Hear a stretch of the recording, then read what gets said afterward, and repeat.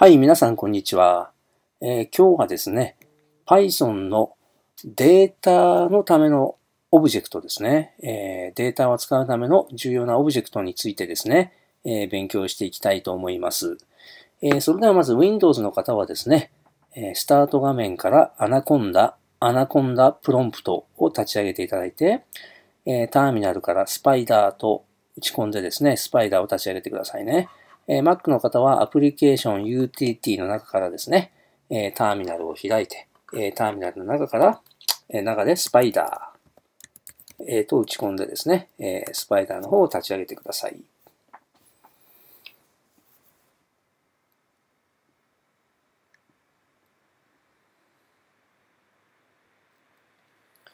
はい、立ち上げましたらですね、えー、まあ、このように前回の作業の、えーまんまですね、出てくると思うんですけれどもね。えー、まあ、あの、プロジェクトのですね、最近開いたプロジェクトという形でですね、えー、プロジェクトを開いていただくという形でも結構ですしね。まあ、前回の続きで、えー、前回の状態が出てくれば、まあ、そのままでも結構ですね。えー、で、まあ、最近開いたプロジェクトというのがあればですね、ここでプロジェクトを開いても、えー、よろしいかと思いますね。えー、まあ、前回の状態になってくるかと思います。はい。えー、まあ何もしないで立ち上げればね、えー、前回保存して、えー、まあ、えー、終了させていればですね、えー、このようにスパイダー立ち上げれば前回の、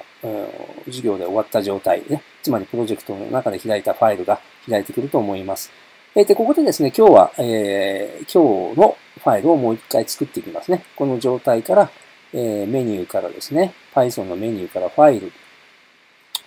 えー、新規ファイルを作っていきましょう。はい。えで、タイトルなしになりますので、えー、ここで、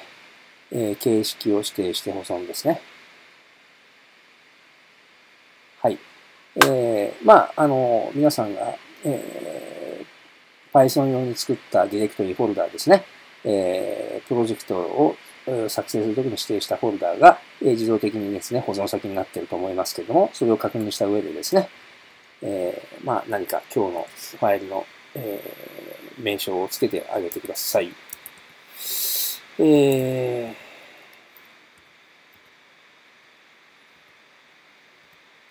はい。そして、まあ、とりあえず保存と。えこれで、えファイル名も保存されました。えいい形でですね、え今日の作業をするとですね、えー、まあ、えファイルが、え新しい状態で開いたと。こういうことですね。はい。それでは早速ですね、今日の、えー、Python でデータを扱うためのオブジェクトですね。えー、これについて勉強していきますが、えー、皆さん資料の方をですね、え、開けていただきたいと思います。お配りした資料の方を開けていただきましてですね、えー、まあ、いくつか勉強することがあるわけですけれども、今日はですね、まずは、えー、Python 独自で持っているデータを扱うための、え、オブジェクト、オブジェクトですね。えー、としてですね、リスト。えー、これを、えー、まずは勉強していきたいと思いますね。えー、いいですか？じゃあまず、えー、資料の方をまず開いていただければと、えー、思います。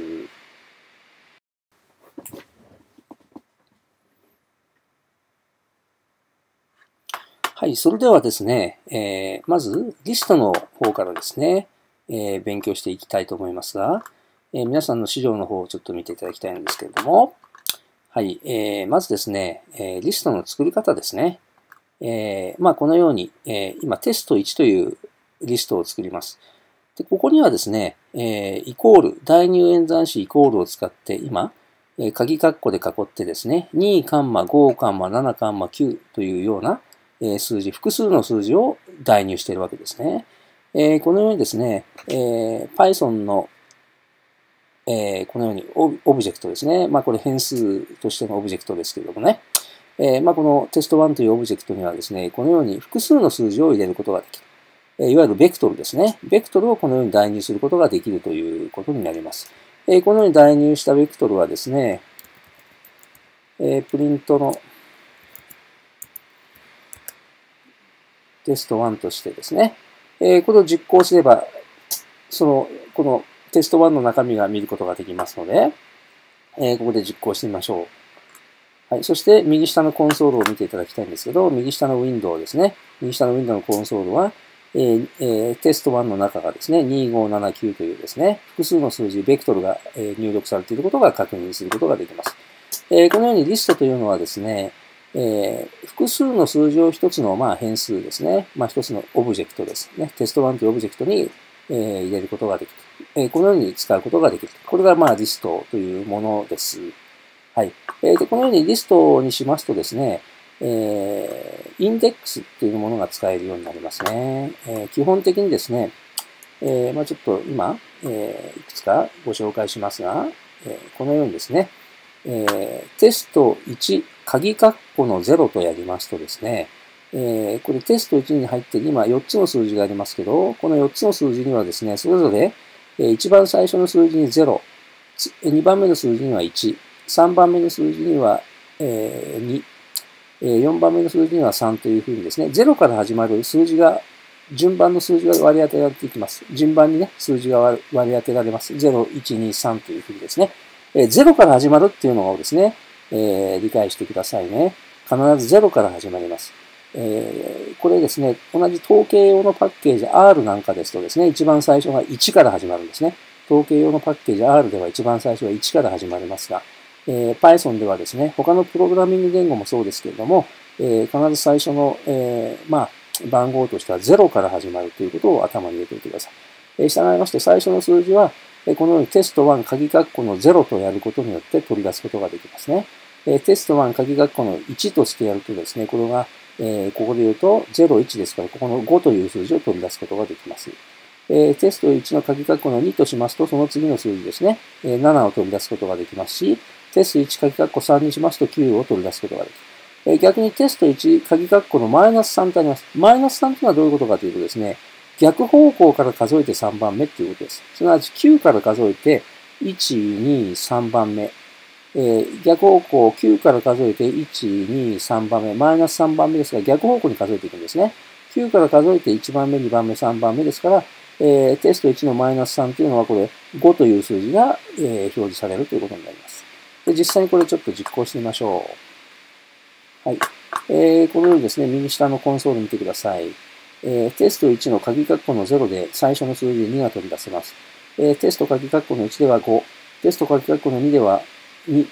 テスト鍵括弧の3でですね、9というね、えー、最後の数字が取り出せます。えー、また、テスト鍵括弧のマイナス3というのはですね、逆方向を9から数えて1、2、3番目ですから5という数字を取り出すことができる。えー、このようにですね、えー、リストというオブジェクトですね、えー、このようにリストというオブジェクトを作ればですね、えー、それぞれの数字をこのようにですね、えー、割り振られた、まあ、数字のですね、えー、数字の番号でですね、え呼び出して、それぞれの、え代入された数値を呼び出すことができるということになりますね。はい。えー、よろしいでしょうか。はい。えー、それでですね、ちょっと次のことをですね、えー、確認したいんですが、はい。次にですね、えー、ちょっとここはもう実行しませんので、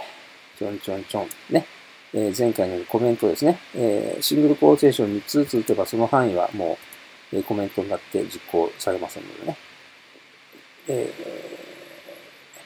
3つのですね、シングルコーテーションで囲ってやれば、前のところはもう実行されませんということですね。はい、えー、それでですね、えー、ここタブを打たなきゃいけませんね。えー、これで、はい、えー、そして、ここもですね。はい、えー、このようになりますね。はい、えー、っとですね。はい。そして、これは定義されてないけど、ここだけ活かさなきゃいけませんでしたね。はい、すみません。ちょっとこれを、もう一度、ここでコピーをしてですね。えー、っと、テスト1だけはちょっともう一回使いますので、テスト1だけもう一回ここでテスト1の定義をしていきます。はい、えー、これでですね。はい、もう一回テスト1、同じ数字2579の入ったオブジェクトを使ってですね、今度次ですね、if 7 in テスト1と、えー、in 7テスト1ってやります。if もしですね、えー、これは制御文です。もし7が in テスト1、テスト1というですね、オブジェクトの中に in ですね、in テスト1でですね、in オブジェクト名でですね、このオブジェクトの中に7が入れば次を実行しなさいと。えー、スペース4つ分ですね。タブ1つ分下げて、プリントテスト1には7があるよと。そして、if 8が not in test1。not in っていうのはですね、えー、このテスト1の中に8がなかったならば次を実行しなさいってことになります。えー、in オブジェクトでですね、オブジェクトの中に、えー、この数字があれば、えー、true, true ですね、えー。それは真であるということで次を実行しなさい。not in っていうのはですね、えー、このテスト1というオブジェクトの中に8がなかったら、ね、not in ですから、なかったら、え、それは true ですから次の制御文を実行しなさいということになりますね。え、従いまして、この中を見てみますと、7はありますから、これ実行されますし、8はここのテストの中にありませんから、not in ですから、この中に8はないので、その時に、えー、true になりますから、次を実行しますから、これが実行されるということになりますね。前回制御文ちょっと勉強しました。はい、じゃあこれをちょっと実行してみますよ。はい。えー、このようにですね、テスト1には7が、7がありますからね。テスト1には8はないと。えー、8は確かにないですからね。えー、このように実行されるということになりますね。はい。えー、じゃあこのようにですね、えー、リストのオブジェクトについてですね、ちょっといろいろ、勉強していきたいと思いますね。えー、このようにですね、ちょっといくつか、えー、リストの中で勉強していくべきことがありますのでね、えー、ちょっと場合分けをして、えー、やっていきたいと思います。まずここまでね、えー、やっていきましょうか。はい。えー、よいしょ。次にですね、今テスト1という、えー、リストを作りましたが、今度テスト2という、えー、リストを作っていきます。ね、テスト2というリストを作っていきます。そこで、えー、テスト1まではもう使えませんのでね、えー、テスト1までは使えませんので、えー、これも、ここまではですね、えー、点3つを打ってですね、えー、実行しないようにしていきましょう。はい。えー、そしてこれ以下を実行していきますね。はい。えー、と、これ何をしているかというとですね、えー、今説明をしていきます。はい。えー、よいしょ。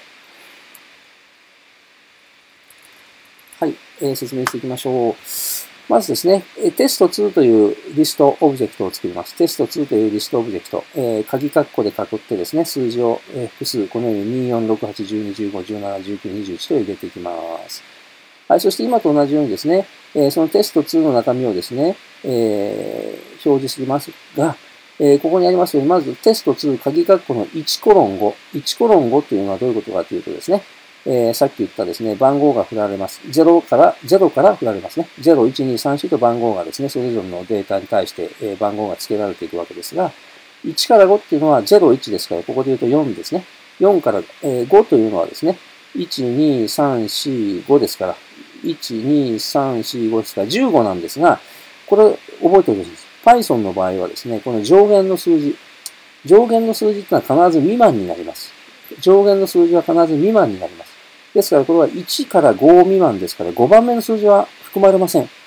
えー、ここだけは、えー、重要なことですから覚えてください。ですからここで言うと4、6、8、12、15なんですが、5番目の数字15は含まれないんですね。ですからここで言うと4から12が表示されるということになります。えー、もう一方、これですね、テスト、えー、の、えー、最初がありません。最初がないってことはこれ一番最初がなってことなんですね。最初に指定がないってことはですね、最初に指定がないってことはこれ一番最初から6番目ってことです。ですから、1、2、3、4、5、6番目なんですけどね。あ、0から始まったら、0、1、2、3、4、5、6番目、17までなんですよね。えー、ですけど、これ6番目のこの17っていうのはですね、えー、6という数字が振られた17というのはですね、未満ですから含まれないんです。6と書いている場合はですね、番号で5まで、5番目の番号の数字までが表示されますから、2から15が表示されるってことになりますね。えー、逆に言うとですね、じゃ最後まで表示したい場合はこのようにですね、えー、テスト2の鍵括弧の2コロン何も指定しない。何も指定しないと最後までになります。何も指定しないと最後までになりますから、これは2から最後まで。2というのは0、1、2ですから6ですね。0、1、2ですから6です。6から最後までですから、6から21が表示されるってことになりますね。えー、次にですね、このテスト2の、えー、鍵括弧の3コロン、6コロン2って数字が今度3つ続きます。これはですね、3コロン6で3から6。で、6の数字は含まれません。ね、3から6。これを2ですから2ステップごとに表示しなさい。2ステップごとっていうのは1つ飛び、1つ飛びです。1つ飛びで持ってきてくださいねってことですね。そうすると3っていうのは0、1、2、3ですから8ですね。0、1、2、3ですから8です。は、この、ここの数字から6ですから、4、5、6ですから、ここになります。えー、ここからここの数字を持ってきなさい。えー、数字で言いますと、8から17の数字を持ってこいってことですけど、最後の数字、6番目の数字は入りません。未満ですから入りませんから、えー、8から15までの数字を持ってくる。ただし、ステップ2で一つ一つ飛びで持ってこいって言うんですから、12を飛び越えて8で一つ飛びで15。8で15。で、6番目は、6番の数字が振られた数字は17ですけど、その6番の振られた数字は未満ですから、未満ってことは含まれませんので、15までですね。8から15までなんですが、一つ飛びで、一つ飛びですから、8と一つ飛んで15。8と15という数字がこれで引っ張られるということになるんですね。はい、最後ですね、このプリント、カッコのレングス、レングスカッコテスト2ってある。このレングスっていうのはですね、データの数、データの長さを表します。データの長さを持ってくる関数ですね。テスト2、レングスのテスト2ってやることで、ここでは1、2、3、4、5、6、7、8、9個のデータがありますから、えー、長さ、データの数、ね、データの長さは9ということになります。それが表示されるってことになりますね。で実際に実行してみましょうね。はい、えー、このようにですね、えー、まず右下のコンソール見てほしいんですけれども、えー、1から5ってことは4から、えー、4、えー、2、0、1、2、3、4、5ですけど、ここは含まれないです。5は含まれないです。上限は含まないです。上限は含まれませんから、5ってことは4までってことですから。5ってことは4までってことですから、1、2、3、4。4から4、6、8、12。4、6、8、12は持ってこられるんですね。えー、次はですね、6まで。6までってことは6は含まないんです。5までなんですね。えー、ですから、1、えー、これは最初が指定されませんから、最初の、一番最初からですね、0、1、2、3、4、5までなんですね。6は含まないんです。だから2から15までですね。2から15です。ね、2から15の数字が引っ張られてますよね。右下のコンソール見てください。2から15の数字が引っ張られてますね。はい、次はですね、2から最後に何も指定しないということは、これ最後の数字まで持ってきます。最初の数字は2ですからね。2から最後の数字まで。えー、ということは0、1、2ですから、6から最後の数字までね。6から21の数字までが持ってこられる。はい、右下のコンソール見てくださいね。6から21。6から21の数字が持ってこられてますね。はい、次はですね、えー、3から6の数字の1つ飛び、2ステップ、2ステップですから、1つ飛びで持ってきなさい。で、6の数字は含まれませんから、えー、0、1、2、3、8からえー、3、4、5、6ですけど、最後の数字含みません。最後の数字含みませんから、8、12、15なんですから、一つ飛びで持ってこいってことですから、一つ飛んで8と15、8と15だけ持ってくるわけですね。えー、見てくださいね。ここで8と15、右下のコンソール8と15だけは持ってくるわけです。で、最後このレングス、えー、このデータの長さですね。これはデータの数ですから、これ9個。ね、9個というね、えー、データの数、データの長さは9個ということでね、ここに最後9という数字で、えー、持ってきていうことがわかるわけですね。いかがでしょうかね。えー、このようにですね、えー、リストというね、え、このリストというのは Python が、え、独自で持っている、え、データを扱うための、え、オブジェクトでありましてね、え、これは、えー、一番データを扱うための基本になっているわけですね。はい。えー、じゃあ、このですね、リストにですね、え、いくつかのデータを追加する場合はどうしましょうかということをですね、え、ちょっとですね、勉強していきたいと思いますね。今のテスト2を使いますので、えー、ちょっとテスト2をもう一回だけこっちに持ってきますが、はい、えー、ここでですね、テスト2をもう一回使いますので、このテスト2のの記述だけをちょっと下に持ってきましょう。はい。えー、ここにテスト2を持ってきます。はい。えー、同じですね。で、これですね、あのー、ドットで、命令をつなげるんですね。ドットで関数をつなげる。これメソッドって言います。メソッドって言いましてですね、えー、Python で基本的に使えるメソッドでありましてですね、えー、このようなリストオブジェクトですね。リストオブジェクト。リストのオブジェクトですね。リストオブジェクト、ドット、アペンド、カッコ、数字とやります。えー、リストのオブジェクト、ドット、アペンド、カッコ、数字とやりますとですね、このテスト2というえリストの中に23という数字を追加することができるんですね。はい。そして、追加した上で、今23って数字ないですかね？今21までですから、これ23という数字を追加してやるってことです。アペンド。アペンド追加です。えー、そしてそれで、プリントテスト2の3から最後までを追ちょっと表示しましょう。3番目ってのは0、1、2、3ですから、8からですね、最後。今23追加してますから、23までが表示されるはずですね。えー、そして長さレングスをテスト2。ね。1個データ増えましたから、今度レングスはさっき9でしたから、今度1つ増えましたら10になるはずですね。で、そこでですね、今度テスト 2.remove。やっぱりこのメソッドを使います。えー、リストのオブジェクトテスト2にドットでメソッドをつないでやるんですね。remove とは取り除くってことです。テスト 2.remove12。えー、これでですね、このテスト2の中にある12という数字を取り除くということですね。削除します。えー、削除します。えー、削除した後、じゃあもう一回、あの、プリントでですね、あの、テスト2の中身を確認しましょうということをやってみますかね。2とね。えー、こうすればテスト2の中身が見れますのでね。えー、ちょっとこれをじゃあここまで実行してみたいと思います。はい、えー、まずですね、えテスト2アペンド23を加えまして、え23というデータをここに加えましてですね、えー、そのテスト2の3番目、0、1、2、3ですから、8から最後までですね。8から23までを表示されているはずですね。はい、見てくださいね。8から12、8、12、15、17、19、21、23が追加されてますね。23が追加されまして、3番目の数字から最後までですからね。8から23までの数字が表示される。そしてレングスですね。1個追加されましたから、レングステスト2。これは1つ、さっき 9, 9個でしたから、データの数9個でしたから、1個追加されてデータの数10個になったんです。えー、そこで逆にですね、テスト 2.remove12。今度はこの12という数字を、えテスト2オブジェクトから取り除きます。このメソッドを使いましたね。テスト 2.remove12 と。ずっと12の数字が remove 取り除かれます。チェックのためにプリントテスト2を表示します。配信をしますと、2、4、6、8、12が確かに削除されていると。そして、15、17、19、21、23という形になりますね。はい。えー、このようにですね、えー、データを追記したり、えー、あるいは、えー、削除したりすることができるということです。えー、ここまではいかがでしょうか？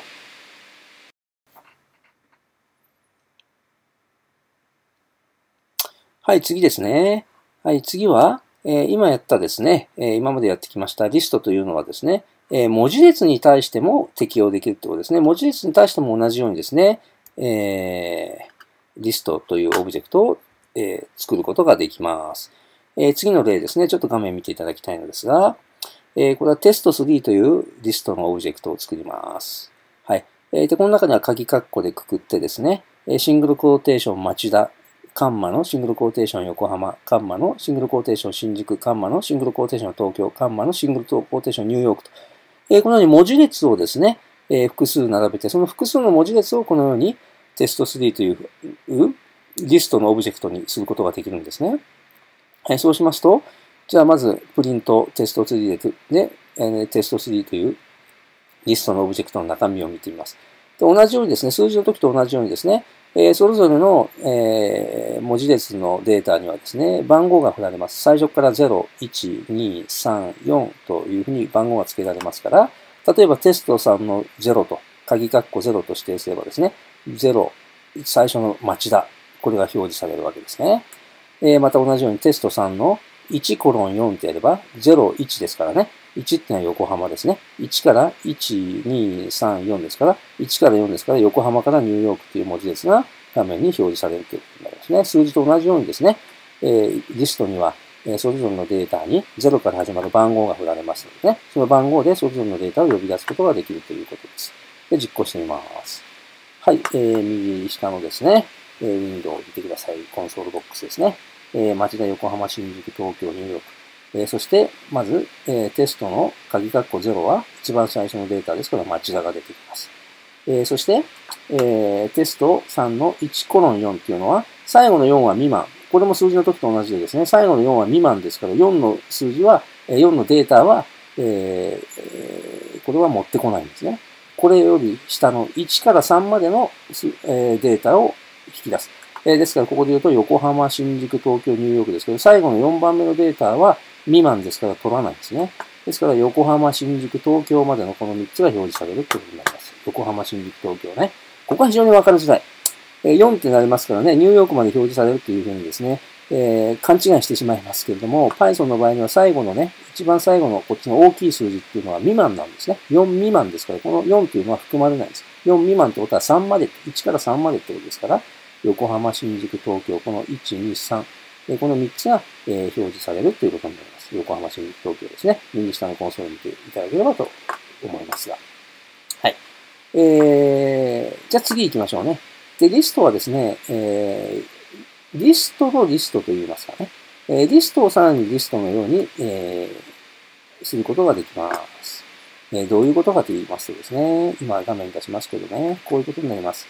はい、えー、今このように123というベクトルですね。あと456というベクトルですね。789というベクトル。これ一つずつが、まあ、123という数字の集まり、ベクトルですね。456という数字のベクトルで、789という数字のベクトルでした。これを今まではですね、それぞれ一つのオブジェクトとして作っていったんですが、えー、この3つのこのベクトル、まあ、本来で言うと3つのリストみたいなもんですよね。この3つのリストをまとめてまた1つのリストを作ることができるんです。これテスト4というですね、えー、オブジェクトに代入して、えー、テスト4というリストを作リストのオブジェクトを作ってるんですけど、テスト4というリストのオブジェクトの中には、えー、123という数字の集まりの一つのベクトルと、456という数字の集まりの一つのベクトルと、789という、えー、数字の集まりのベクトル。本来で言えばですね、それぞれがリストのようなものですね。それぞれがリストになり得る、えー、数字の集まりですけど、それをひとまとめにして、つまりまあリストのリストのような形ですよね。えー、そういう、えー、リストのオブジェクトを作ることができるわけです。え、そうしますとですね、えー、それぞれのリスリストといいますかね、それぞれのベクトルが一つずつの要素になりますので、えー、プリントテスト4を表示しますと、それぞれの、え、オブジェクトがそれぞれ表示されてきますし、テスト4の0とやりますとですね、一番最初のこの1、2、3というベクトルが取り出されます。テスト4の1ってやりますとね、えー、0、1ですから番号振られますから、これも同じように番号が0、1、2と振られますのでね、テスト4の1ってやればこの1番目の4、5、6というベクトルが表示されるし、テスト4の2とやれば789というベクトルが表示されることになりますね。えー、ちょっとですね、じゃあこれを、えー、実行してみましょうね。えー、上の方のテスト3はもういいですから、えー、テスト3についてはちょっと表示はやめておきましょうね。えー、このようにシングルクォーテーション3つで囲んでやればですね、上の方は実行しなくなりますので、ね、はい、えー、じゃあこのテスト4以下ですね。はい、えー、まあリストのリストという形ですね。えー、3つのベクトルをまとめて1つのリストにしていく。これをじゃあ実行してみます。はい、えー、右下のコンソールを見てくださいね。えー、このように、えー、123というベクトルと456というベクトルと789というベクトルが、えー、ベクトルが一つの、それぞれの要素になって一つのまたリストを作ってるということです。え、従いまして、テスト4の0とやれば最初のベクトル123。えー、テスト4の1とやれば次のベクトル456。えー、テスト2とやれば最後のベクトル789を取り出すことができるということなんですね。ところがですね、えー、これをやり、やりますとですね、一つ、まあ、統計パッケージの R なんかでは必ず、えー、考えられることですけど、このようにベクトルが3つ重なりますと、これが一つの行列のようにね、えー、やれ、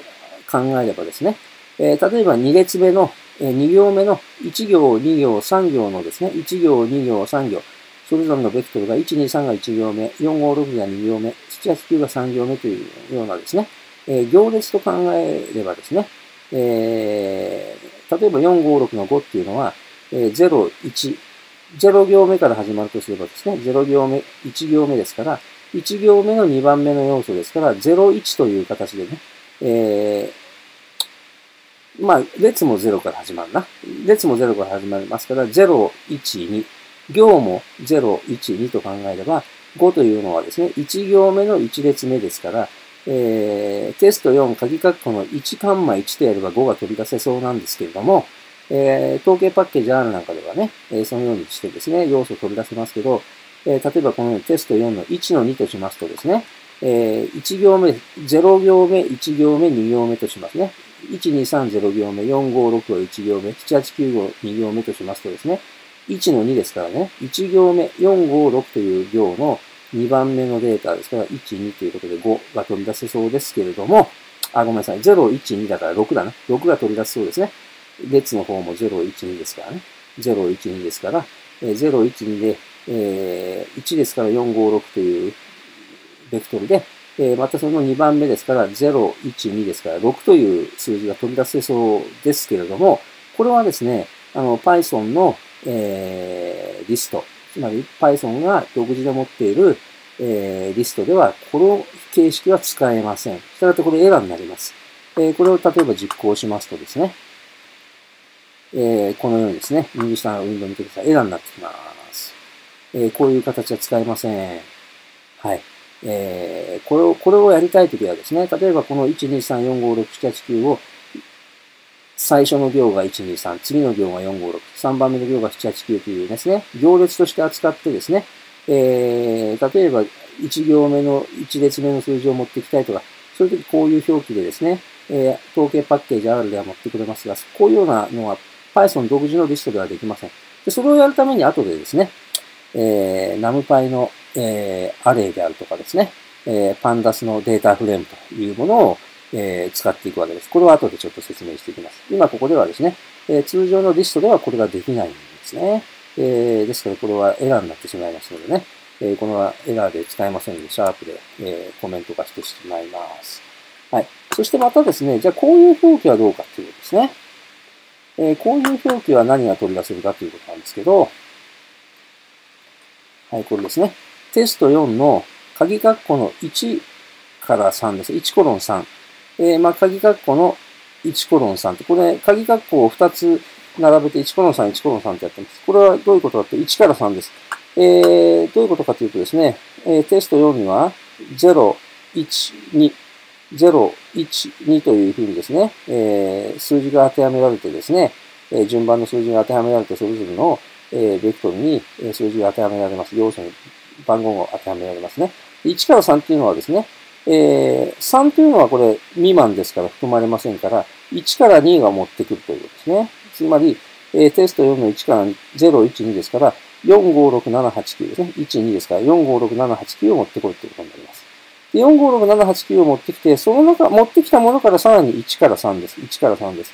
えー、今度は4、5、6、7、8、9持ってきましたから、今度この2つが0、1という番号が振られますので、ね、0、1っていう番号が振られますので、えー、その中の1から3ってことはですね、0はもう省かれますから、1っていうのは7、8、9。で、2、3ですから2まで持っていくんですけど、1、2がもうないですからね。そうすると結果としてこの7、8、9というこのベクトルだけがこの結果持ってこられるということになりますね。そしてこの結果としてで実行するとですね、えー、ベクトル7、8、9だけが表示されます。えー、ちょっと右下にですね、最後7、8、9ですね。ちょっと分かりづらいからその前をですね、えー、コメント化しちゃいましょう。この3つをコメント化してですね。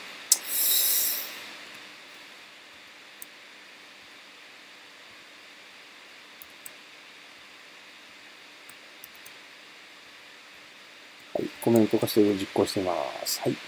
えー、これ実行しますと、はい、789っていうのが取り出せますね。これはどういうことかっていうと、今説明した通りです。最初の鍵括弧1から3でですね、このテスト4は0、1、2が振られてますから、1から3ってことは1、2の、えー、3は含まれませんから、1、2って持ってくればですね。3は未満ですから、これ1から3ってことは1、1、2を持ってくればいいわけですから、えー、0、1、2の1、2ですから、4、5、6ベクトルと7、8、9ベクトルってことになります。で、その持ってきたベクトルのさらに1から3を持ってこいってことです。そうするとベクトル2つですから、2つのベクトルの場合には0、1と番号が振られますので、0、1と振られて、そこで1から3ですから、1、2って持ってくれるんですけど、もう2つのベクトルしかありませんから、2はないんですよね。そうすると0は含まれませんから、自動的に1の7、8、9だけが持ってこられて表示されるということですね。ベクトル7、8、9です。えー、先ほど申し上げましたように、ですから、このベクトルの中の、例えば5だけ持ってきたいとかですね、この中のですね、8だけ持ってきたいとかですね、この中の1だけ取り出したいっていう時にはですね、えー、先ほど言ったような表記使えませんので、えー、これは Python 独自のリストではなくてですね、後で説明しますですね、えー、NumPy のアレイであるとかですね、Pandas のデータフレームというのを拡張して使うことになります。はい。えー、それではここまでですね、えー、よろしいでしょうかね。はい。えー、じゃあ次にですね、えー、さらに進めまして、タプル。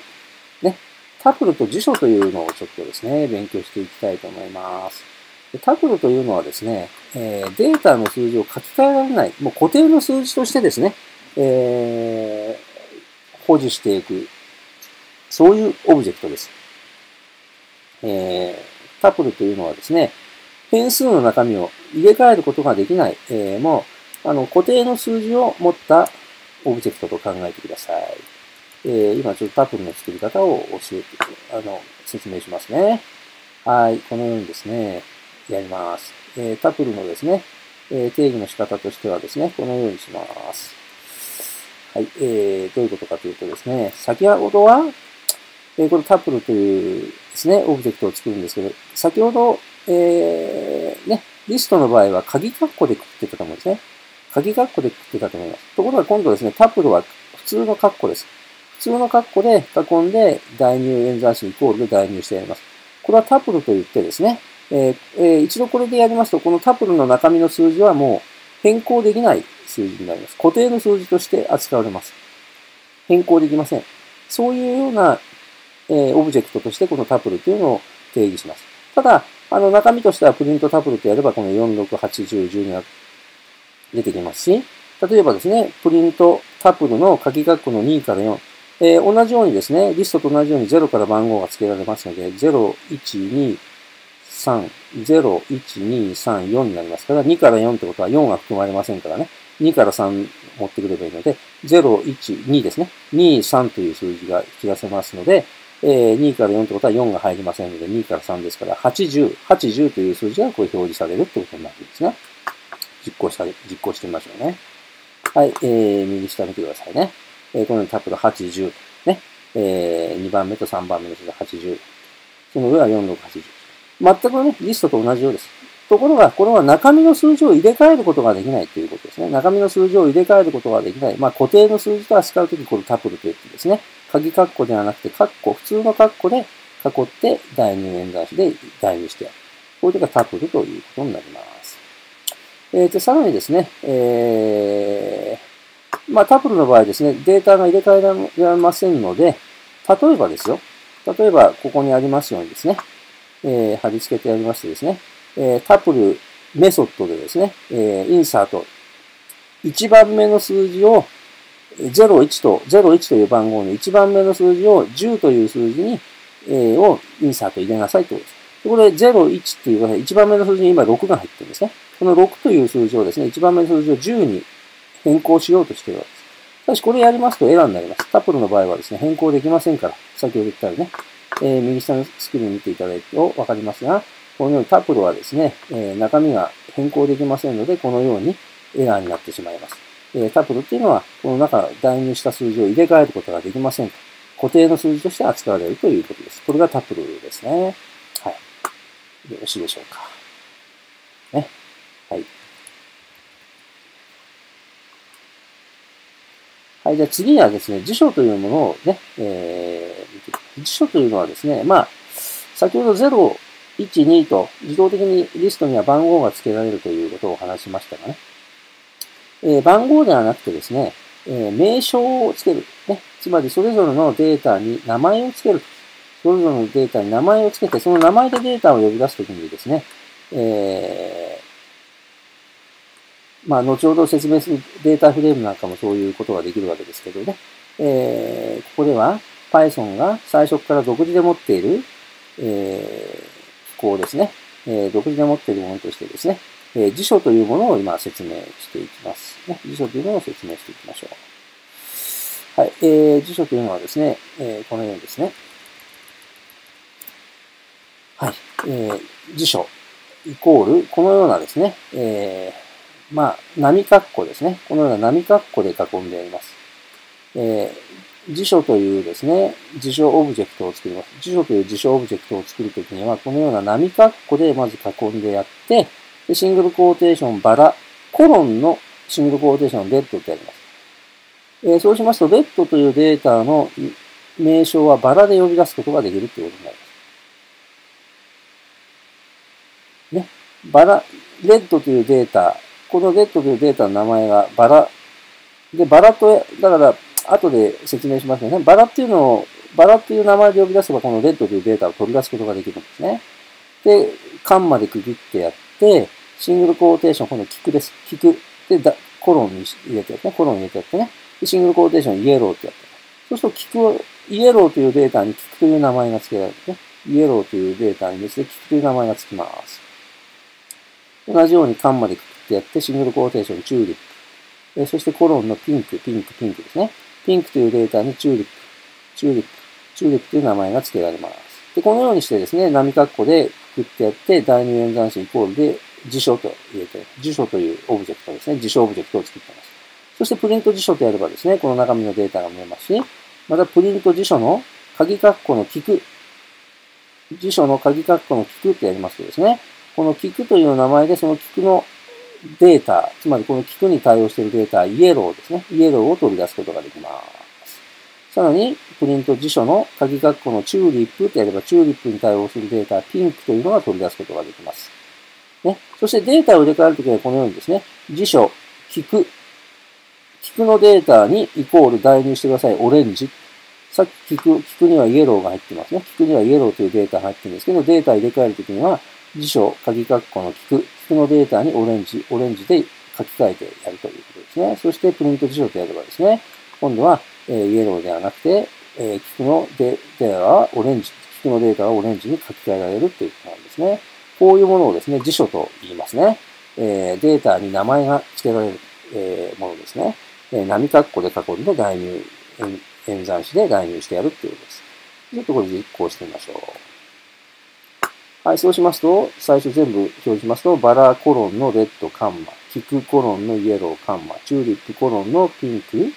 えー、カンマという形になるわけですね。えー、なるわけですね。はい、そして次に、えー、辞書、鍵括弧のキクと呼んでやれば、キクの、えー、データであるイエローというものが表示されますし、えー、辞書、鍵括弧のチューリップとやれば、チューリップのデータであるピンクというのが入ります。そして、えー、辞書、鍵括弧キクのデータとしてイコールオレンジと入れ代入していれば、えー、イエローがオレンジに書き換えられて、その中身はバラはレッド、キクはオレンジに書き換えられてますね。オレンジに書き換えられてます。で、チューリップはピンクだな。まあ、こういう辞書というですね、えー、オブジェクトも、えー、Python では使うことができるということですね。はい、よろしいですか？はい、それでは早速ですね、先ほど行列のような形のデータですね。行列のようなデータを、えー、扱うときにですね、えー、それぞれの要素の数字を持ってくるとき、先ほどなかなか苦戦してですね、えー、行列の各要素を持ってくるのはですね、えリストだけですとなかなか難しいということをね、え実際にやってみて分かったわけですけどね。えそれをじゃあ次はですね、え NumPy の、え配列 ND アレイオブジェクトというのですね、 NumPy の配列のですね、ND アレイオブジェクトというものをですね、えー、使ってですね、えー、行列のようなですね、えー、オブジェクトからですね、データを効率よく持ってくる方法をですね、ちょっと勉強してみたいと思いますね。えー、よろしいですか？ここまでよろしいですかね？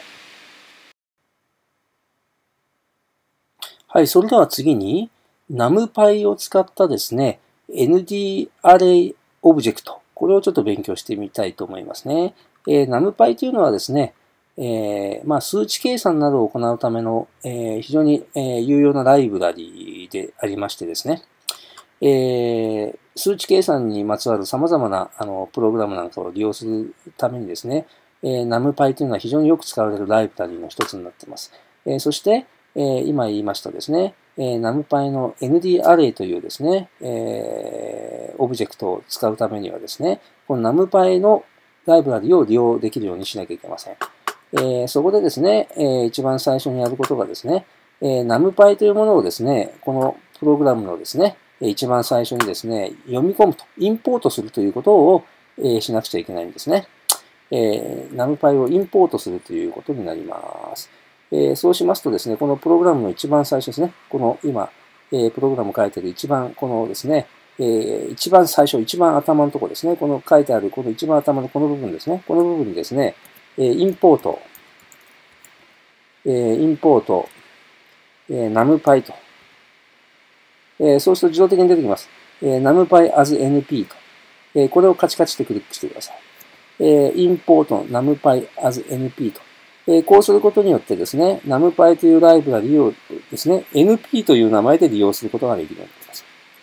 えインポートしてですね、numpy というライブラリをインポートして、このプログラム上で numpy のえー、ライブラリ、様々な、えー、ナンパイで提供されるですね、え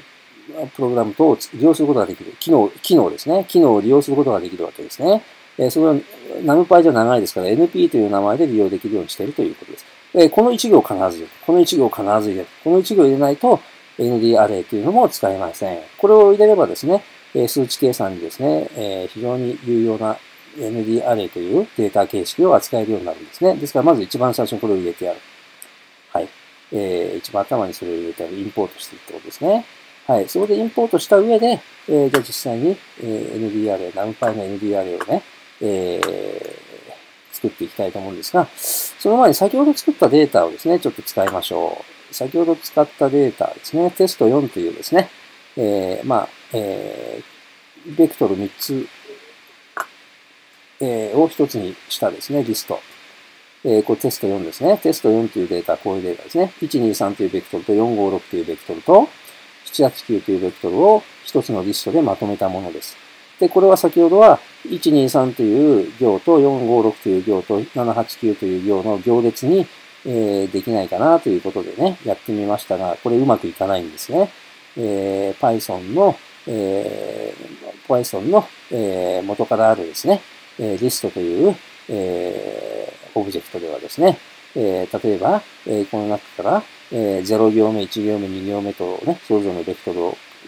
ね、考えましてですね、じゃあ、えー、2番目の行の、えー、真ん中のこの5という数字だけを取り出したいときにはですね、えー、0行目、1行目、2行目ですから、1行目の0列、1行、2列と考えれば、1行目の1列目を取り出したいというですね。それをうまく取り出すということがですね、えー、Python の、えー、最初から持っていますですね、リストではなかなかうまくできなかったということですね。それをじゃあ今、えー、NumPy というものを取り込んでですね、NumPy の ND アレイというものを使ってですね、うまく処理していこうということをこれから説明していきたいと思いますね。えー、でまずですね、じゃあその、えー、NP アレイというものをですね、えー、作っていきたいと思います。えー、いいですか？ここでですね、NP、今テスト4というですね、これリストです。これは Python の、えー、最初から持っているですね、えー、オブジェクトのリストというオブジェクトですね。これは先ほど勉強したことですね。えー、これをですね、このようにですね、えー、今度テスト4、えー、テスト 4n というですね、えー、これは、えー、NumPy の n を取りました。NumPy の ND アレイということでね、n をつけましたけどね、テスト 4n という、テスト 4n というオブジェクトを作ります。このテスト 4n というのはですね、えー、NumPy の ND アレイという形式の、えー、オブジェクトになるわけですね。でどうやって作るかというと、イコール np.array ですね。np.array カッコテスト4。えー、このテスト4というリストですね。このテスト4という、えー、複数のベクトルを持ったリスト。えこれを引数に入れましてね、テストの引数に入れまして、np.array とやっています。np.array と。np.array とやってやりまして、ここで、えー、こうしますとですね、ndArray という形式のオブジェクトができます。これを、えイコール代入演算子でテスト 4n に、えー、代入して、テスト 4n というのがつまり、えー、ndArray のオブジェクトということになります。ねえー、そしてまずね、プリント括弧タイプテスト 4n とかタイプっていうのはですね、このデータの型を表示してくれます。データの型がどんな型であるかっていうのを表示してくれます。えー、プリント括弧タイプテスト 4n というのをやってみます。えー、それと同時にですね、じゃあプリント、えー、同時に、えー、テスト 4n も表示してみましょうね。えー、テスト 4n をこの2つを表示してみましょう。じゃあここ、これをちょっと実行してみます。はい、実行してちょっと、えー、右下のですね、えー、コンソール見てください。まずですね、えー、テスト、プリントタイプテスト 4n でね、クラス、numpy-nd アレイと言いますね。numpy-nd アレイとね。えー、つまり、えー、形式は numpy-nd アレイという形式に、えー、このオブジェクトの形式がなったということをここで、えー、表示しているわけです。えー、そして、その次に、えー、テスト 4n というものを、えー、表示させますと、このように行列形式ですね。1、2、3、4、5、6、7、8。さっきは横に1列に並んでましたが、今度は行列形式で、1、2、3、4、5、6、7、8、9というね、こういう行列形式でね、1行目、2行目、3行目という形式で行列のような形で表示されるようになります。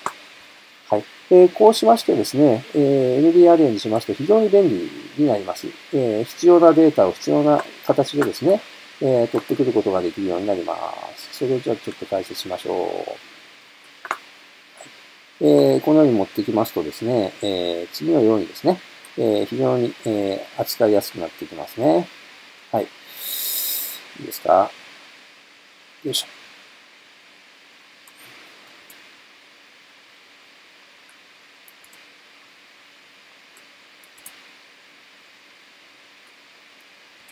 はい。えー、で、最初の方のここはね、もう表示する必要ないからコメントアウトしておきましょうね。最初の部分は必要ですからね。えー、ね。で、テスト 4N はもう、えー、作ってますので、えー、ここでいいですね。はい。そしてですね、まずこのようにします。テスト 4N の鍵括弧の1。テスト 4N の鍵括弧の1。えー、これやりますとですね、えー、鍵括弧の1ですから、まあ、最初のですね、1番目のこのデータが取ってくれるわけですね。で、さらにですね、このように、えー、プリントテスト 4N の2カンマ1ってやります。2カンマ1ってやりますとですね、あ、これ0から始まるから1ってはここですね。1っていうのはここになります。0、1、2ですね。0、1、2。必ず、あの、番号は0から始まりますから、0、1、2ですね。ですから、テスト 4N の1ってやれば、1番目の0、1、2ですから、1番目のこの4、5、6になりますね。え、で次、テスト 4N の鍵括弧の21とやりますとですね、21とやりますと、0、1、2、2番目のこの、ここの、ここですね。えー、ここの行の、えー、1番目、つまり0、1ですから、えー、0、1、2の2番、0、1の2の行の、2の行の1番目、つまり0、1、2ですから、1番目、0、1ですから、ここですね。8という数字を取り出すことができるわけです。ここでね。次に、テスト 4N の1の1、えー、0、1ですから、4、5、6の行ですね。それの1ですから、えー、0、1ですから5という数字を取り出すことができますね。次、テスト 4N の0から2、0から2、0から2ってのは0、1ですから、ここですね。0、1ですから、ここです。1、2、3と4、5、6ですね。そのうちの1列目ですから、0、1ですね。0、1ですから、2と5、2と5という数字を取り出すことができるわけですね。これでね。はい。えー、次ですね。テスト 4N の1コロン、あとはないと。つまり、えー、0、1、2ですから、1の後ですから、1の後を全部ってことですね。コロンの後何も入ってませんから、1の後全部ですから、4、5、6と7、8、9が持っておられる。その後のカンマの1コロン何もないってことは、えー、0、1列、0列、1列、2列目ですから、えー、1列目以降、1列目以降ですから、えー、4、5、6、7、8、9の中の5行、えー、0、1、2ですから、1、2列を持っていますから、えー、5689ですね。5689という、えー、データが一番下のこれで持ってくることができるということですね。ちょっと実行してみますよ。はい、実行しましょう。はい。えー、まずですね、テスト 4N の鍵括弧の1、えー、012というデータ番号が振られてます。012というデータ番号が振られてますから、1というのは01ですから456ですね。456が持ってこられてる。え次21ですから、01の2ですね。これの1ですから、01ですから、8という数字が表示されるということです。え次1の1は、012ですから、1ですから、456ですね。えさら、456の中の、えー、01ですから、1ですから、5ですね。5が数字で取られるということになりますね。え次テスト 4A のは、0から2、0から2ってことはですね、えー、0から2ってことはですね、えー、どういうことかというと、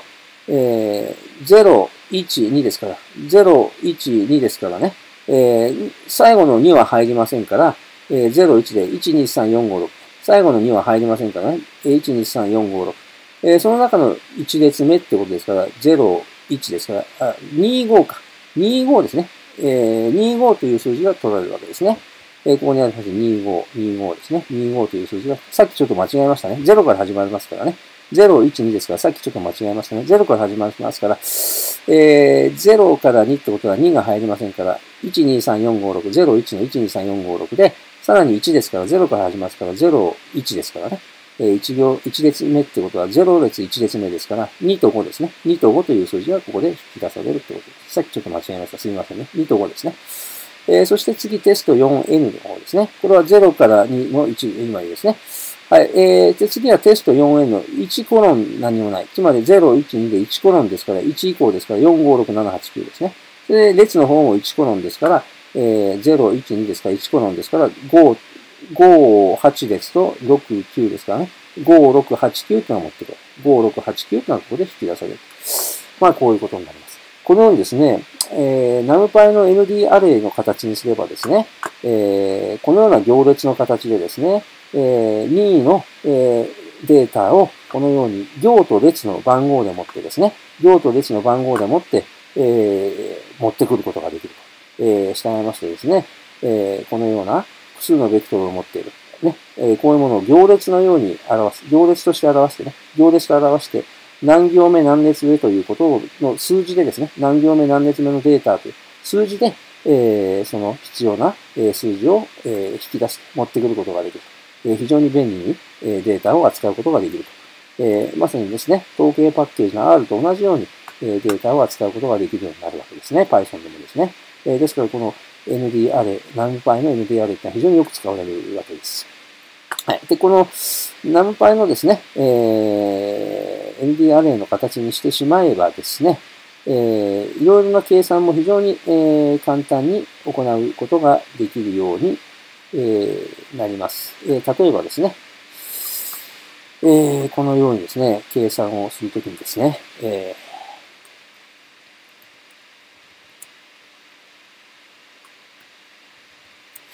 はい、えー、このようにですね、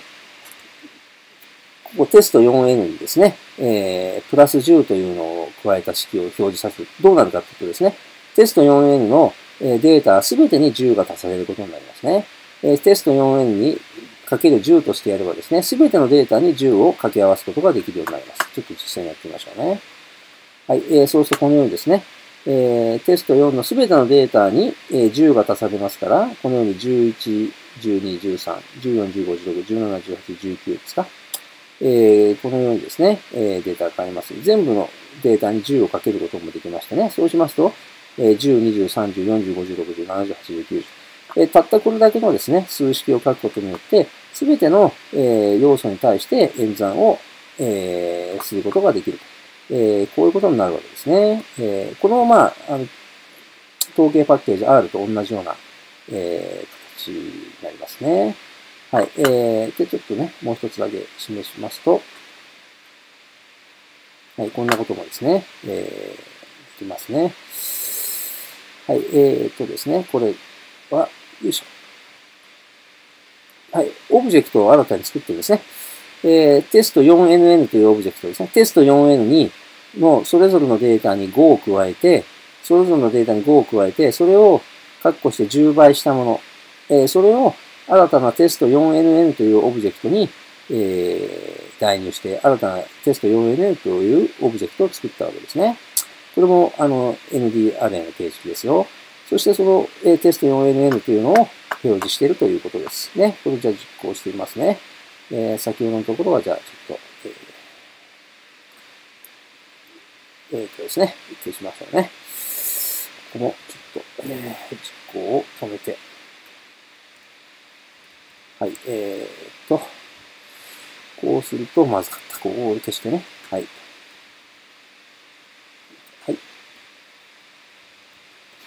ということで実行してます。はい。そうすると、このようにですね。えー、それぞれのデータにですね、右下の、えー、コンソールに見てほしいですけどね、すべてのデータに5を足してそれを10倍していると。えー、それを新たなオブジェクトとして 4nn というオブジェクトを作ったということになります。はい。えー、で、このようにですね、あのー、ナムパイの NDR っては非常に便利でですね、えー、行番号、列番号を使ってデータを引き出すことができるんですが、えー、これをさらに拡張してですね、行番号、列番号、まあ、行番号、列番号でもいいんですけれども、えー、その行番号、列番号に行の名前とか列の名前ね、えー、行と列の名前をも付けてあげようと。えー、まあ、もちろん、あの、012という番号でもいいんですけど、えー、番号だけじゃなくて任意の名前も付けられるようにしたもの。ね、行の名前、列の名前を、えー、付けられるようにしたものをですね、え、データフレームと言います。データフレームと言いましてですね。で、このデータフレームというのを使うときにはですね、えー、パンダスというですね、やはり、えー、ライブラリをインポートしなきゃいけないんですね。パンダスという、えー、ものをですね、インポートする必要があるんですね。えー、そしてですね、えー、そのデータフレームの使い方もちょっと勉強していきたいと思いますね。えー、で、これまた、このプログラムの一番最初に持ってきましてですね、さっきインポート、ナムパイっていうのをやったんですが、ここでですね、同じようにですね、インポート、えー、インポート、パンダス、えー、パンダス、こうやりますと、パンダス as PD ってありますけど、これカチカチってくるとします。えー、パンダスだと長いですから、PD という名前でパンダスというライブラリーをえ導入します。そうするとパンダスが持っている様々な機能ですね、様々な機能を使うことができますのでね、えー、このデータフレームという機能もこの Pandas というですね、えライブラリーの中の機能の一つでですね、この import pandas PD とすることによってこのデータフレームを使えるようになります。えー、ちょっとそれを作ってみたいと思います。はい、それではですね、えー、ライブラリーの Pandas をですね、PD という形でですね、えー、PD という名前で、えー、インポートしましたのでですね、えー、Pandas の機能を使います。えー、そしてデータフレームを作っていくんですけどね、まず Pandas のデータフレームの前にですね、データフレームを1次元とした、えー、ものですね、えー、もっと単純化したものですけど、えー、Pandas シリーズというのをですね、ちょっとあの勉強したいと思うんですね。えー、Pandas シリーズというのを勉強し、ちょっとしたいと思うんですけども、えー、その後にデータフレームをね、説明していきますが、このようにテスト1、えー、一番最初にね、この授業で使った、あの、リストですね。単純なリスト2579というリストですね。えー、でですね、これをですね、ちょっと拡張するわけです。どうするかというとですね、えー、リストというのはですね、0、1、2、3というふうにですね、それぞれのデータに番号がついたわけですけれども、えー、このパンダスの中のシリーズというのはですね、このような、えー、ベクトル、このようなベクトルでですね、0、1、2、3というですね、えー、まあデータに番号がついたわけですけど、この番号の代わりに名前を付けることができる。名前を付けることができてですね、その名前を使ってデータを呼び出すことができるというものが、えー、この Pandas のシリーズというものですね。で使い使い方としてはですね、このように、えー、テスト5という Pandas のシリーズをのオブジェクトですね。 Pandas シリーズのオブジェクトを作ってやるんですが、このテスト1というデータを使ってですね、えー、pd、えー、pd.series ですね。pd.series、カッコテスト1ですね。ここにテスト1というこのリストを入れてやればですね。そうすると、えー、 Pandas のシリーズが、えー、できまして、それがテスト5というですね、オブジェクトの中に、えー、入る。つまりテスト5というのは、えー、 Pandas シリーズの、えー、オブジェクトということになります。えー、そしてそのテスト5の中身をちょっと見てみましてですね。えー、で、さらにですね、えー、ここですね、えー、さらにですね、ちょっと中を見てみますとですね、これ、これですと全くですね、今までのリストと変わらないわけです。で、そこにですね、今度テスト 5S というものを作っております。えー、pandas. シリーズのカッコの、さっきはデータテスト1だけ与えてやりましたけど、それにカンマに加えてですね、インデックスイコール、鍵カッコの、えー、シングルコーテーションで囲った A, B, C, D と並べてあります。これですね、実はそれぞれのデータの名前なんですね。このように、パンダスのシリーズでは、0123というデータの番号の代わりにですね、このように、えー、ABCD とかですね、任意の名前を、データにそれぞれ任意の名前を付けてやることができるということです。えー、そして名前を付けたこのテスト 5S というオブジェクトですね。えー、これをここでちょっと表示させてみたいと思うんですね。えー、まずタイプ 5S のタイプですね。このデータの型を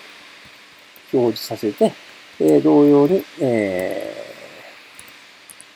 ー、テスト 5S も表示させましょう。これ実行してみますね。はい、そうするとこうなります。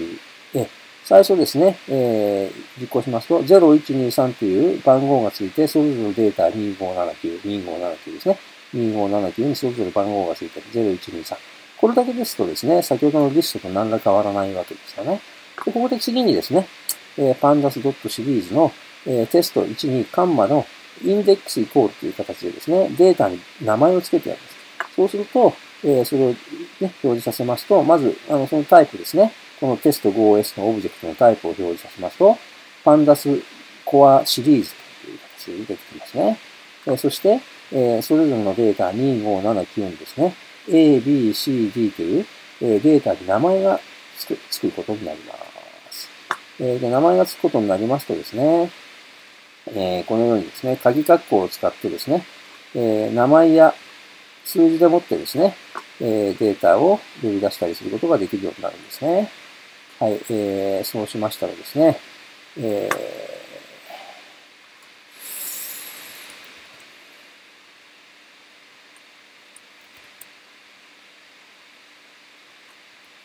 はい、コメントアウトしましてですね。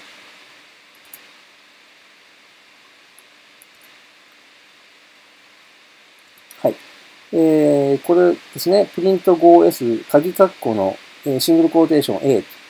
えー、ということは A という名前のついたデータを持ってきなさいということになります。えー、そしてこう、テスト 5S、鍵括弧の0。これは0番目のデータを持ってきなさい。0という番号が振られたデータを持ってきなさいということですね。事実上同じことが出てくるわけでですね。テスト 5S 鍵括弧の、えー、B という名前、コロン D という名前まで持ってきてくださいということですね。えー、ということは B、C、D という名前がついたデータを引き出してみます。えー、さらに同じようにテスト 5S の鍵括弧の1コロン3。えー、このコロン3になりますとですね、3は含まれません。だから1と2、1と2という番号が付けられたデータが持ってきまして、前もお話しましたよね。この数字の3という最大値は未満ですからね。未満ってことは3は含まれないで1から2っていうことですから、えー、B と C のデータだけが持ってこられるということになるんですね。でちょっと実行してみましょう。はい、このようにですね。えー、まず A のデータとして持ってくるのが、えー、2ですね。A のデータと持ってくるのが、えー、2ですから、えー、A ですからね。えー、最初に対応してるのは2ですから2ですね。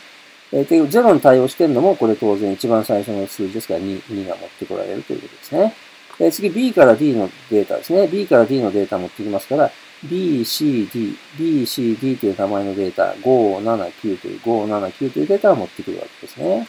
はい。で、次ですね。えー、1から3、1から3っていうのは1から2ですね。3は最大値ですから、えー、ここは含まれませんね。最大のこの3というのは含まれま、これ未満ですから、未満ですから、1から2が持ってこれま、来られますから、えー、B と C、B と C だけは持ってこられるわけですね。B と C で57、57という数字を取り出すことができる。まあ、このようにですね、パンダシリーズを使えば、えー、データに番号が付けられてますので、番号で呼び出すこともできますし、えー、それぞれのデータに付けた名前でもですね、データを呼び出すことができるようになるわけですね。で、これを拡張したのが、えー、今度は、え、データフレームですね。えー、パンダスのデータフレーム。でデータフレームは2次元になりますね。つまり行列。先ほどはですね、えー、シリーズの場合は1次元のベクトルだったわけですよね。1次元のベクトルだったわけですけども、えー、今度の、えー、パンダスのデータフレームワークと2次元の行列。でまあ、先ほどの、えー、ナムパイのですね、ND アレイと同じように行列として扱えるようになります。えー、ただその行列と扱ったものをですね、えー、今度行列の行と列に、えー、先ほどの ND アレイは番号だったんですけどね、えー、もちろん番号でもいいんですけども、番号の他に名前も付けられるということがパンダスデータフレームの、えー、特徴なんですね。で先ほど使ったこのテスト4というですね、えー、123というベクトル、456というベクトル、789というベクトルが、えー、入った、えー、このテスト4というリストを使ってですね、えー、パンダスデータフレームを、えー、作っていきたいと思いますね。えー、作り方ですけれども、はい。えー、今度テスト6というですね、えー、オブジェクト。これを Pandas データフレームにしていきます。はい。まずは、えー、PD DataFrame、カッコテスト4。PD DataFrame、カッコテスト4とやればですね、えー、これで Pandas データフレーム、テスト4、ね、リストだったテスト4、リストだったテスト4がですね、データフレームに変換されます。そしてそれがテスト6というオブジェクトに代入されますから、テスト6というのは、えー、このテスト4というリストをデータフレームにしたオブジェクトということになります。そしてそのテスト6をプリントアウトするということですね。えー、じゃあ、ここまでですね、えー、実行してみたいと思いますね。えー、先ほどのものはちょっとコメントアウトしていきましょうね。えー、じゃあ、ここだけちょっと実行していきますよ。はい、えー、そうするとこうなります。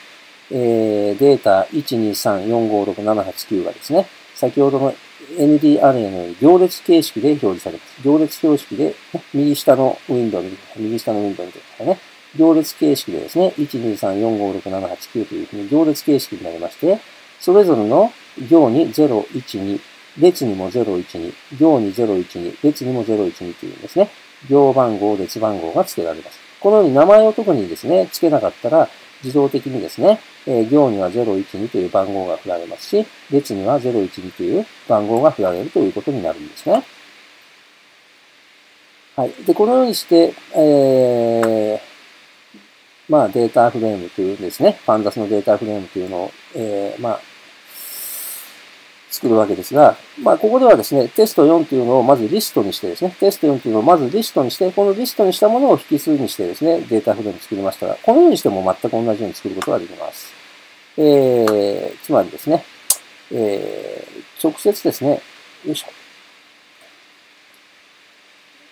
直接、えー、このようにテスト4というのを一回リストにして、そのリストからこのデータフレームを生成してますけど、えー、ここではですね、この123456789というですね、このベクトル、3つのベクトルを、えー、そのままひとまとめにして、直接データフレーム作ってます。直接データフレーム作ってね、それをテスト6というオブジェクトに入れてます。えー、これでも全く同じようにですね、えー、データフレーム、 Pandas データフレームを作ることができますので、ね、え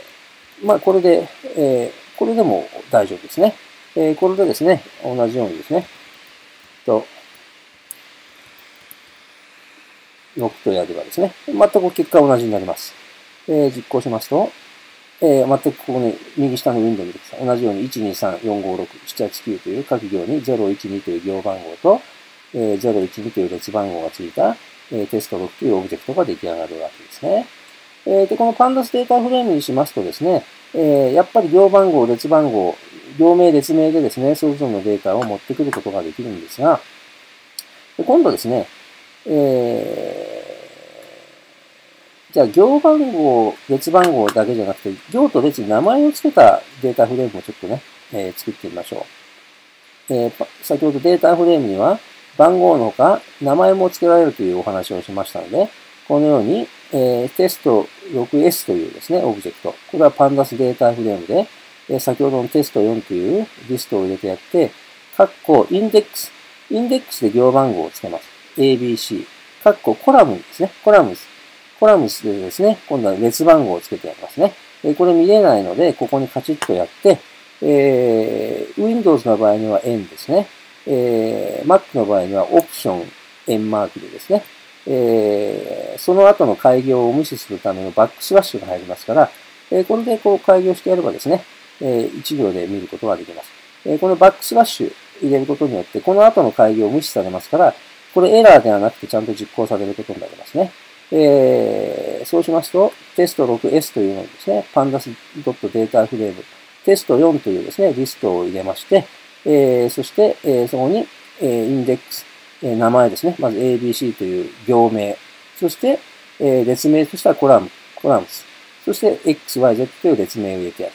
えー、で、このテスト4という、えー、オブジェクトを使いましたので、ここのテスト4のコメントアウトをちょっと外しますね。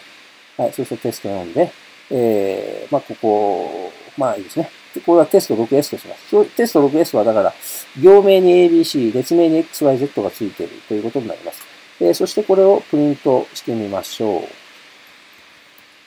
と、6S という形ですね。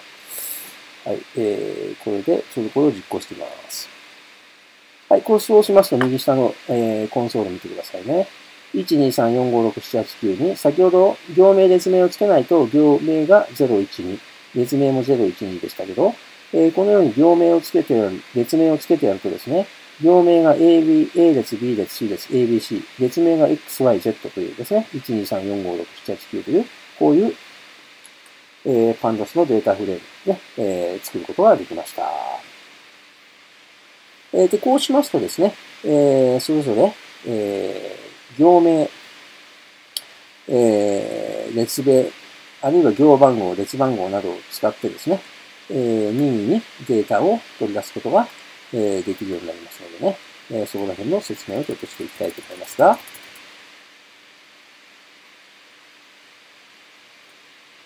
はい。こ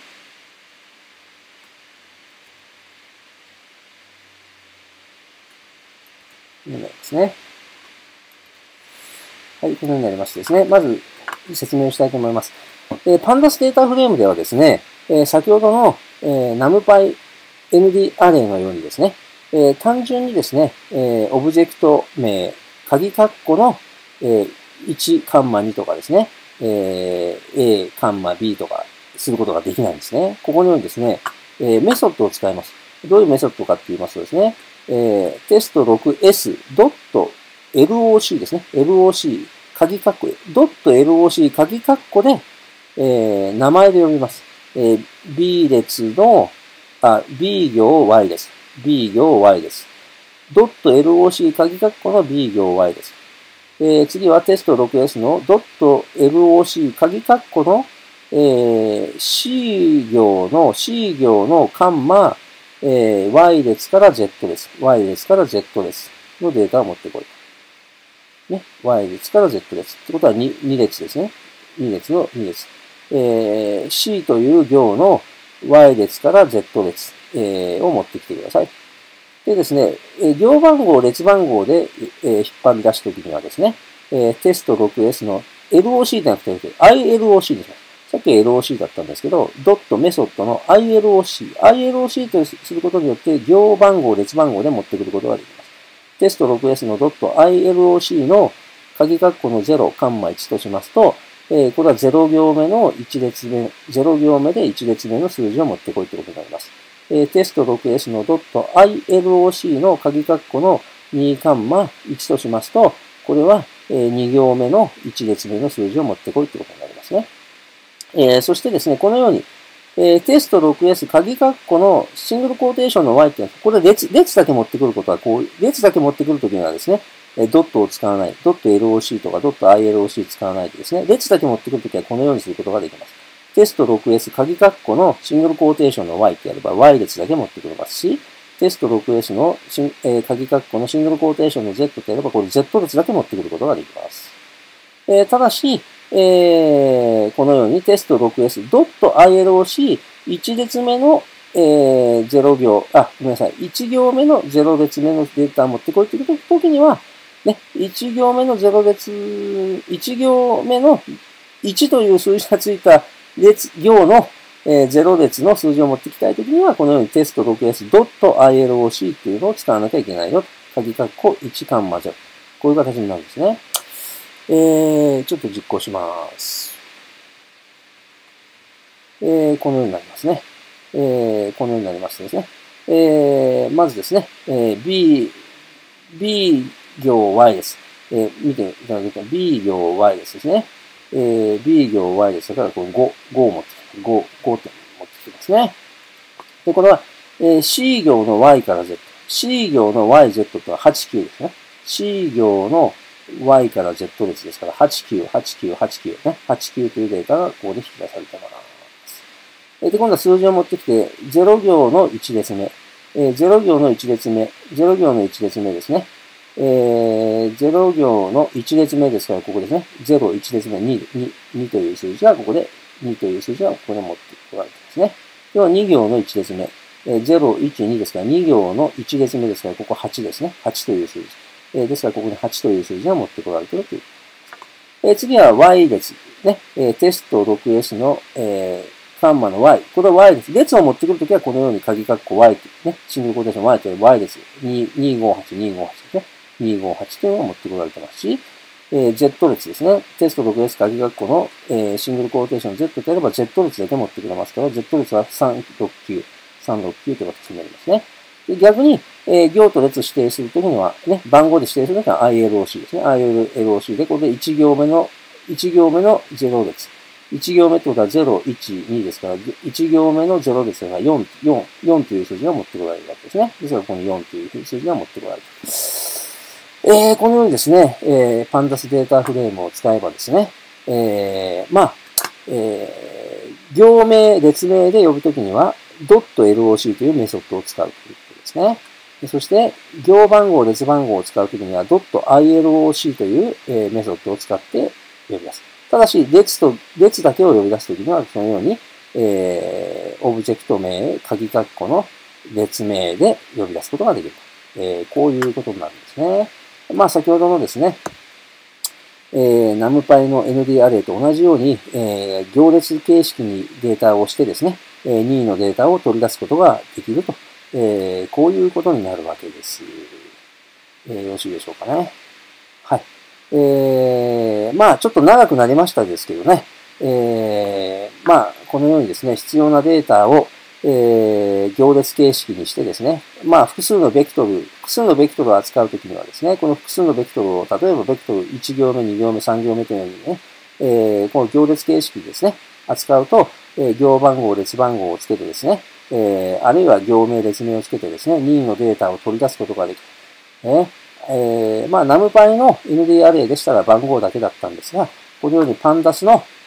えー、データフレームにしてしまえば、えー、番号で呼ぶこともできますし、このようにそれぞれ行番号、列番号も付けるということができると、えいうことが、えまあ、え少し、え何パイの ND アレイよりもですね、パンダスのデータフレームの方がですね、えー、行名、列名を付けられるというところに、えー、まあ、あの、少し、えー、まあ、あの、進化しているところがあるということなんですね。ただし、えー、パンダスのデータフレームを使うと、えー、鍵括弧をすぐ付けるんではなくて、えー、列名、行名を使うときには .loc というメソッド、えー、列番号、行番号を使うときには .iloc という、えー、メソッドを使わなきゃいけないというところが、えー、少々ややこしいということですね。そこでですね、えー、例えばパンダスデータフレームから、えー、ナムパイの ND アレイに変換するとかですね、えー、その逆、そういうことももちろんできるんですけどね、えー、それはまあ次回にまたあの解説していきたいと思いますね。はい。少々長くなりましたが、えー、以上のところをよく復習していただきたいと思います。今日はね、大事なところです。ええー、よくね、もう一度確認をしてください。えー、じゃあ、これで終わりにしましょう。